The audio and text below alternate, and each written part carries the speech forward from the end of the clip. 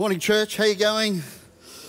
So good to see you in this place this morning. Uh, this is such an exciting Sunday. There's, I, I love these Sundays. I love the, the big Sundays in the life of our church where we make an impact. Christmas, Easter, and this Sunday is one of those impacting Sundays.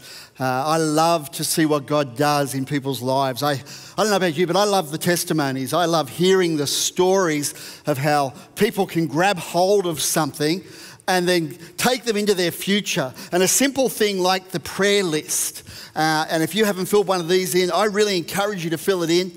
Start to believe God. Write down what you're believing God for. I love Maddie and Greg's story. You know, here they were believing for turf. And then two years later, they're in a new house and a new business. And what God has done is an amazing thing, but it's just story after story after story. And the reason they're powerful is because it's faith. It's not just, ah, oh, well, ah, yeah, we'll write a story. No, it's actually faith that brings it to action. I can't encourage you more than but to write your prayer list down, write what you believe in God for down. I love the scripture that's on the bottom of this particular card. I tell you the truth, anyone who believes in me will do the same works I have done. And because I'm going to be with the Father, you can ask anything in my name and I will do it. So the Son can bring glory to the Father. And yes, ask me for anything in my name and I will do it. John 14, 12 to 14. There's something about the ask that is so important. There's something about having a big ask that honors God. You know, it's no longer is it just a little ask. I love the way God answers little asks. Like we ask for something and you look back and go, oh, wow, that was so small. But He answered it. And all of a sudden that builds some faith in you. And then you start to ask for big things and you start to say, God, come on, let's do this. And He loves that. He responds to faith. That's what God responds to faith. He, he actually grabs hold of your faith and works with you. So I really encourage you at this, this season, and we call it a season of generosity, it's a season of faith. It's a season of activating who we are in God to the things that He's called us to. And the way we say it in the life of this church, that you'll know God. At the end of the service, there'll be an opportunity. If you don't know God, there'll be an opportunity to come into that relationship with Jesus, to find freedom not just the, the freedom as, oh, you know, I'm free, but freedom in every aspect of life, freedom to, to live free to know, to discover your purpose, why you're on earth. That part of what we do in this season expansion is to expand our vision from where we are to where God wants us to go, to actually grow the call of God. No matter where you are, no matter what stage of life, God wants to grow you, the impact you have to make a difference in the world. That God has called you, your position 2021, to Toowoomba, to make a difference in the world. You imagine if you can catch the breath of God for your life, what could happen? What could you do? What could you and God do? I, get excited by that. I love what we're doing in the life of this church. I love that we've bought 100 acres and We've, we've passed another milestone this week. It was proved by the national executive of our movement of the purchase. So, all green lights so far. And, and I'm excited by that, but I'm excited that we can be part of something that we're not going to necessarily get all the benefit from, but the future generations are going to be changed. And we can be part of that. We can sow seeds into, into that future. And that's part of what this offering is today, is sowing into that, sowing into our online campus, sowing into the lives of children, sowing into Red Frogs to make a difference, saving a generation. And that's what we're part of as a church, to make a difference in the world. That Highlanders are not just passive churchgoers, but they're people who know their God and will do incredible exploits with Him. I want to encourage you around this today. So, write your prayer list out. Uh, on the expansion offering, and we do this every year, there's a pledge card, and we'll receive the pledge cards at the end of the service. Uh, but we do it every year, and, and one of the things I know is that sometimes we things change. Our lives change. We might have made a pledge, and, and circumstances have changed in our life, and we, we sometimes struggle with the vow we made. Our heart as a church that we don't want anyone to carry any guilt or any shame or anything like that going forward. So, what I'm going to do right now is I'm just going to release those pledges. So if, if you uh, made your pledge, all that's wonderful. If you didn't make your pledge, it's all wonderful as well. And, but I don't want that to hang over your life in any way, shape, or form. So let me just pray for you for a minute. Father, I thank you for, either, for every pledge you received this year, for the difference that it's made. And it has made incredible difference in people's lives. Father, for, for the ones who, who pledged and had faith and held on to it, Father, but circumstances have changed, be it through COVID, be it through work, be it through whatever. And Father, they haven't been able to make that pledge. I release them today. They're no longer bound to it, Father. I thank you for the release that they are free. And Father, we believe you. We believe you for that freedom to be across every aspect of our church. In Jesus' name. Amen.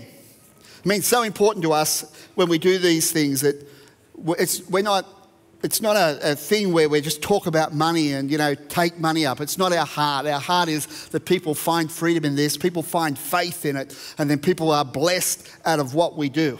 That's the heartbeat of this church. So I want to take you back to the foundations of this particular offering. It started out many, many years ago where we took and received an offering and we called it 2C9. And 2C9 was 2 Corinthians 9. Uh, and we've this year we've, we've changed that, that slightly to be expansion because we believe God is calling us to expand. We believe that right now, 2021, 2022, and going on, is the greatest opportunity for the church. We live in this time which is an incredible opportunity. The whole world is crazy. Has anyone noticed that? It's a crazy world. And that with the craziness of world is the opportunity for God to move. And some cases we think, what can we do? Well, when we're weak, He is strong. Scripture says when, when we are weak, He is strong. If we put our hand up and say, God, we can't do it, but we want to do it with you, He gets involved in our life that we can make a difference in the world. And that's the power of what we have right now in 2021. And the foundation of what we do is 2 Corinthians 9 in this season. And this is what it says. But I say, but this I say he who sows sparingly will reap sparingly, and he who sows bountifully will reap bountifully. So it, let each one give as he purposes in his heart. Let me just stop there for a minute. As he purposes. Our, our heart is, in, and the heart of this church is, we would much prefer you to have it purposed in your heart than just get swept up in giving or be purposed in your heart and think, oh, well, I suppose I better give some money to the church. Sounds like they need it. It's not our heart. Our heart is that you purpose in your heart, uh, not grudgingly and not out of necessity. It, it's, it's, it's not out of a, a need that we do this. It's out of expanding vision and faith that we want to go forward in the things that God has for us and has for you. So, the foundation of this offering is faith to take us into our future. It says, For God loves a cheerful giver, and God is able to make all grace, grace abound to you, that you always having all sufficiency in all things may have an abundance for every good work. And it goes on to say, As it is written, he has dispersed abroad, he has given to the poor, his righteousness endures forever. I want to just make a point on that, that we've given to the poor. And sometimes in Christianity, we can be so focused on the poor that we miss the people who aren't poor. We miss people who are poor in spirit. And that's never God's heart. God's heart is for God, God so loved the world. He didn't just love the poor, He loves the poor, but He also loves the rich. And He wants the rich to prosper, He wants the rich to grow, He wants the poor to prosper. God loves all, but He wants all to prosper. And sometimes we can get so focused on the poor that we miss the fact that the wealthy in the world need Jesus just as much as the poor. Sometimes I think we need it because everyone in this room is wealthy more than the poor. We need to know God, isn't it? Because you see, when you're wealthy, and determination of wealth in Australia, we're wealthy. So we're a wealthy nation. You know, you just did your census and you wrote down how much you earn and how many cars you have and all those different things, how many TVs you have in your house. Not that was one of those questions. But we are incredibly wealthy. And God wants us to be blessed. He wants us to be blessed, but what He wants us to catch is the cheerful giver part. And He wants us to understand that He wants us to go and affect the world for others. And this is what it says Now, he who supplied seed to the sower and bread for food, supply and multiply the seed you have sown. It's an interesting thing. Who supplies the seed and the bread? God does. He supplies your seed and bread. God has given you your resource. He says, I'm going to supply you seed and bread. And then he says, and he says, supply and multiply the seed you have sown.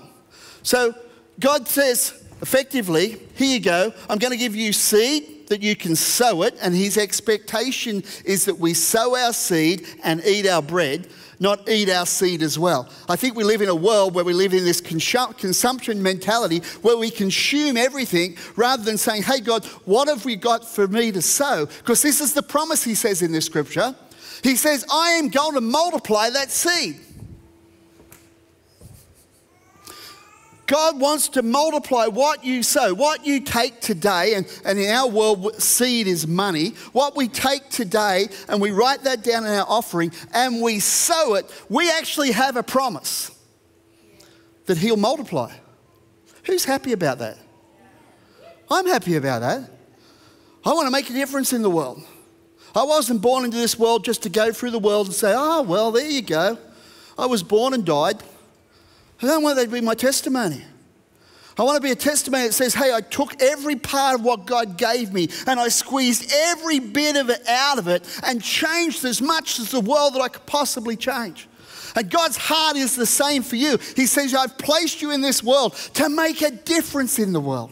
And more than that, I'm going to give you the tools you need.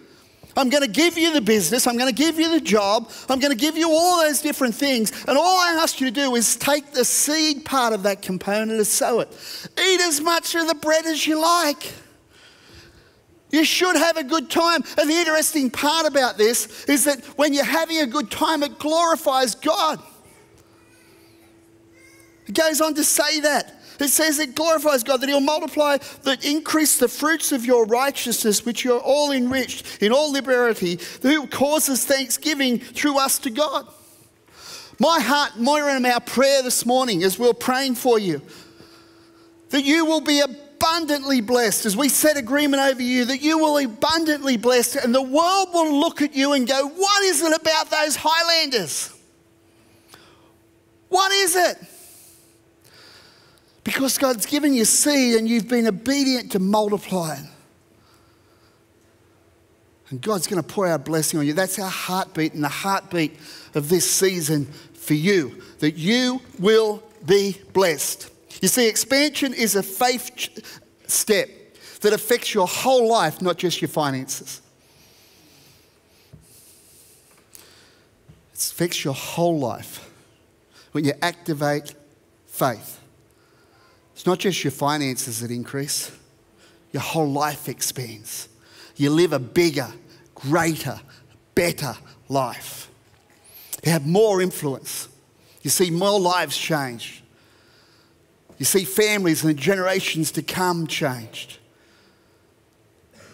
I love that. I love seeing my kids prosper. I love watching them and watch what they do as God blesses them and they prosper. That makes my heart glad, but it makes the Father's heart in heaven glad as well when He sees you and sees you prosper, and then your children and then the generations to come prosper. You see, today is a day to expand your faith. That's the aim of the day.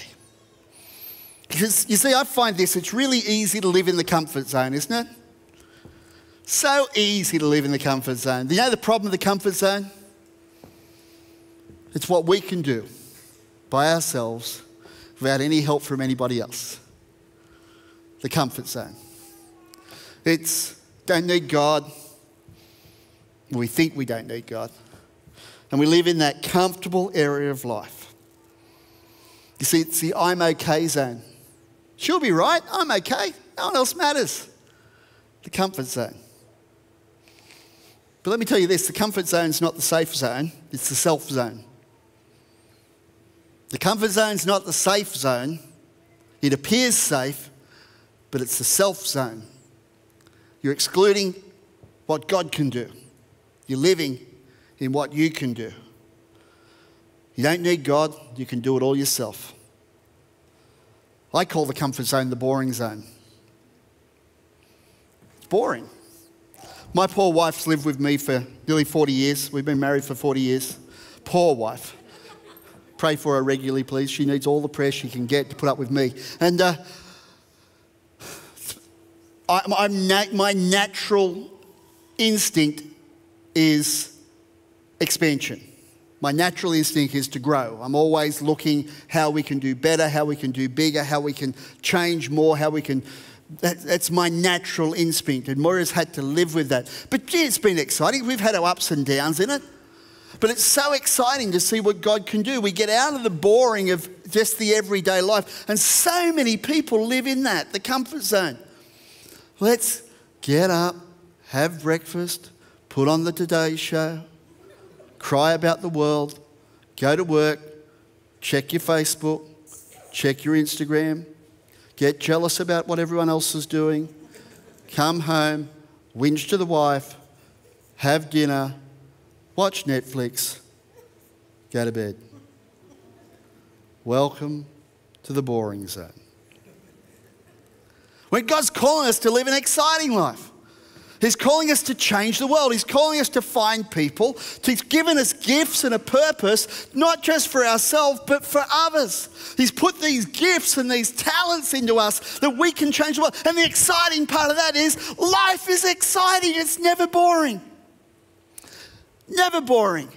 When you put yourself out in the faith zone, the promises of God are amazing. I, I love, uh, I love um, Peter in the Bible. I love him. He's just one of those my favourite characters.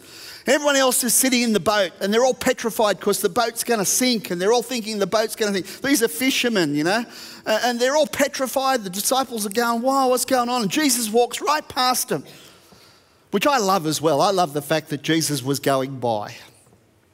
And maybe Jesus is going by your challenge. And you're sitting in the boat, worried. It's going to sink. God doesn't care for me. But all of a sudden, there was Peter, and he sees God, Jesus, walking past, and he goes, Jesus, can I walk on the water too? And God goes, Jesus goes, Yeah, come on, Pete. And he steps out and he walks on the water. He walks out of the comfort zone of the boat and steps into the faith zone, into the performance zone. And he's the only one that walked on the water because he got out of the comfort zone to make a difference. You see, faith takes you out of your comfort zone into your performance zone. And it's only faith that does it. Faith takes you out of that comfort zone, puts you in that place where you perform and you see God move. Funny in that, in that performance zone, that's where I find people look around and go, Oh, gee, you're lucky. Huh. Look at you. You're so lucky. Liam, you're so lucky. And you know, the harder he works, the luckier he becomes. The more trust he puts in God, the luckier he becomes. The more he steps into the performance zone, out of the comfort zone, the luckier he becomes. But what about you? Because God's calling you into this performance zone to make a difference. You see, in the comfort zone, our eyes look back. We live in our comfort zone, we're always looking backwards. Oh, the old days. Remember the old days? They were so good. Gee, they were good. Oh, I remember we had a Customline. And we literally did have a Ford Customline, big V8 clunk of a thing. You know the thing about the old days? Because every time we went away, Dad had to pack the toolbox in the back. Because we'd get down the road and the thing would break down. I remember one day it broke down, and there he was, climbs under the front of it, drops the sump off the V8 so it doesn't spill any oil, sits it on the ground. The, what had happened is the, the one piston had broken and a hole in the top of the piston, so he dropped the rod out and drops the piston out, screws the sump back on, and off we go again. Ah, the good old days. How many guys today have thrown toolboxes in the back of their car, unless they've got an old classic like a Customline, because you still need to put the toolbox in the back for that. But we don't even think, do we? We jump in the car, drive to Perth. Don't even think about it. Because it's reliable. You know, sometimes we live in the fallacy of the good old days. Oh, I remember when I was at school. It was so good, you know. There I was working at McDonald's, earning $4 an hour. The good old days. And then you're out working as a lawyer and you're earning $450 an hour. They're much better days. Sometimes we think we get looking backwards rather than looking forward. And God is calling us to look forward. He really is. They may be the old days, and they were good in their day, but they're not good for today. God wants you to be successful today. Genesis chapter 12, verse 1. The story about Abraham. He was known as Abram at the time. The Lord said to Abram, Leave your native country, your relatives, your father, and your family, and go to the land that I'll show you. Think, wow, that's pretty cool. But have you ever left the land? You ever left somewhere and gone where God's called you, and all of a sudden, all your family have gone, all your networks are gone? Who's going to babysit the kids for crying out loud? Well, it's true, isn't it? Here's this guy taking this step. He stepped out into the future. God always asks you to take steps of faith into your future.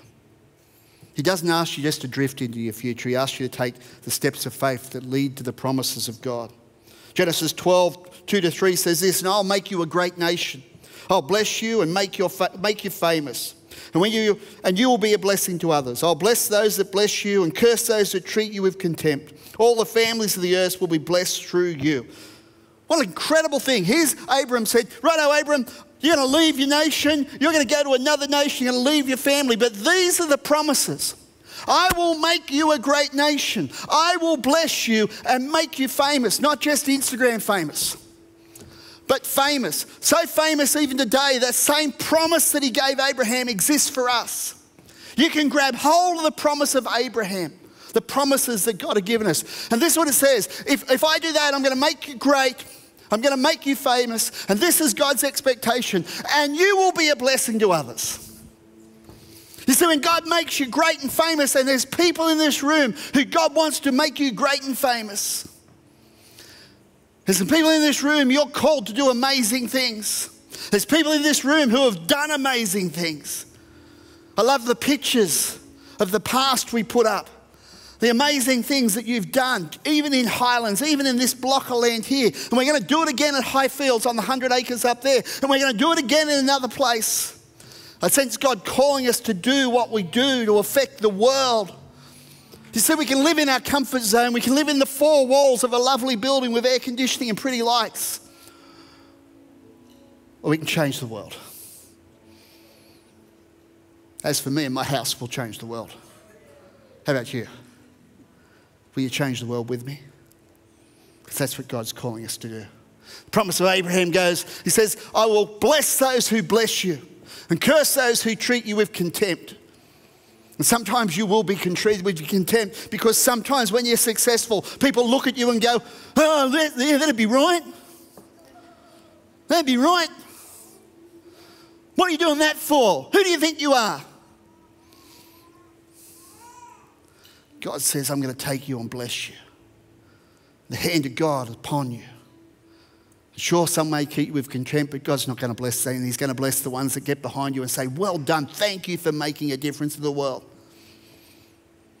God's going to bless them and bless you. That's why I encourage you out of Romans 12 that says, Outdo one another with honour.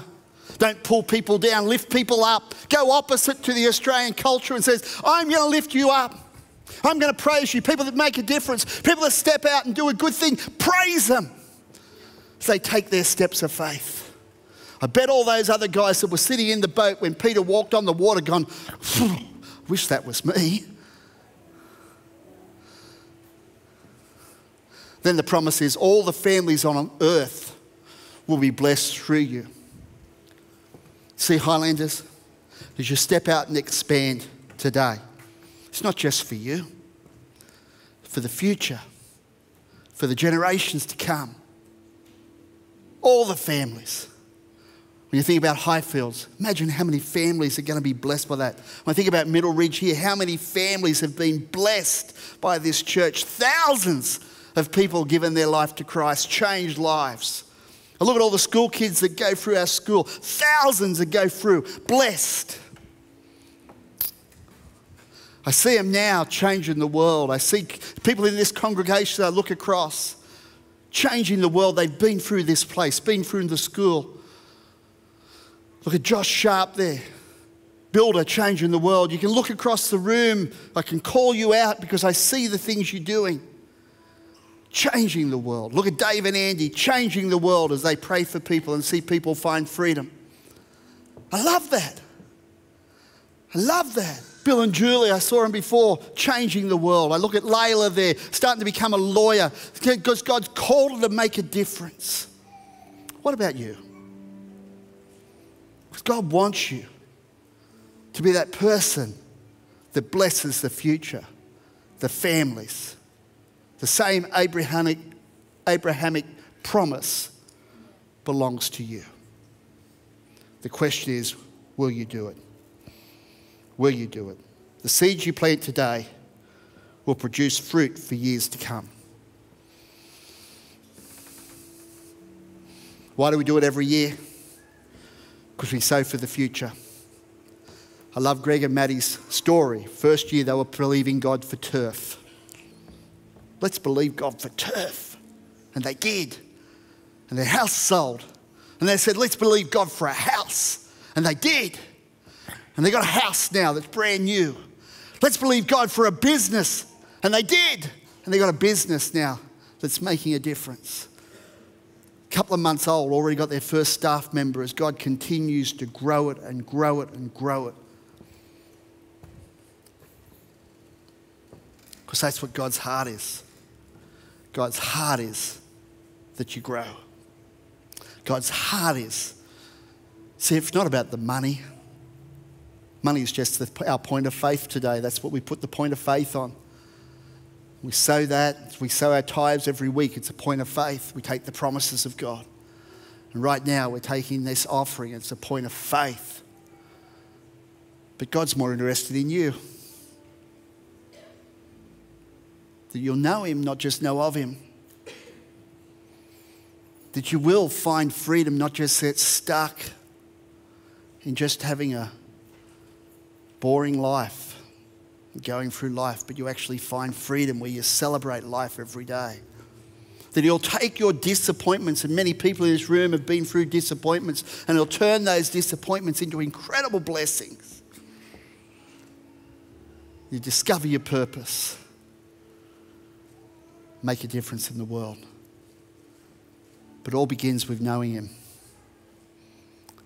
Do you know Him? Or do you only know of Him? Every service, we give this opportunity that you'll know God. Not just know about Him, not just know all the scriptures, even though that's a good thing to read and study, know the scriptures. It's about knowing Jesus. That He'll come into your life. And your life with Jesus is better with Him than without Him. So I'd love to pray with you today. So would you close your eyes and bow your head? Father, I just pray for everyone in this room right now that if they know God, you continue to bless them, that their faith will step out, they'll step out into their future. But Father, if they don't know you, Lord, I ask you to touch them today. Touch them right now. Speak to them. Speak to their heart. Hey, if that's you and I'm talking to you right now, and I said those words that if you don't know Jesus, just while every eye's closed and every head's bowed, and you'd like to know him, maybe you've been in church all your life, maybe this is your first day in church, but you'd like to know God, not just know about him. If that's you, just while no one's looking around, every eye's closed, every head's bowed, I'd love you to raise your hand so I can see it, so I can pray for you. So look across this room. You see, the, out, the lifting of the hand is just that inward expression, outward expression of an inward decision. You're saying yes to Jesus. I'm putting my hand up and saying yes to Jesus. So, right across this room right now, if that's you, and you've never given your life to Christ, or you've been away from God, and this morning you're coming back and saying, Yes, I want this life that He's talking about with God. I want to give you that opportunity. So, will you raise your hand right now as I look across this room? Last time I'm asking this morning. Two people gave their life in the first service. How about you? Don't go home without him, friend. Last time I'm doing, last time this morning I'm asking. I don't want to prolong it, but I don't want to delay it because I don't want you to miss. I see that hand. Awesome. Thank you so much. So good. So good. Life changed forever. So good. Last time. Very last time. Awesome. Let's pray together. If that's you and you raised your hand, and for the person that raised their hand, pray this prayer with me. Maybe you were in your seat and you wanted to raise your hand, but you thought, oh, someone might see me. Pray this prayer anyway. Ask Jesus to come into your heart. It's a simple prayer. It goes like this, but you just pray it from your heart, very really. Say, Dear Jesus, I ask you, come into my heart. Forgive me for everything I've ever done wrong. Make yourself so real to me, Lord. I accept you as my Lord and Savior. Amen. Amen. Come on, let's give it up for those people that gave their life to Jesus. That's fantastic. Best decision you'll ever make.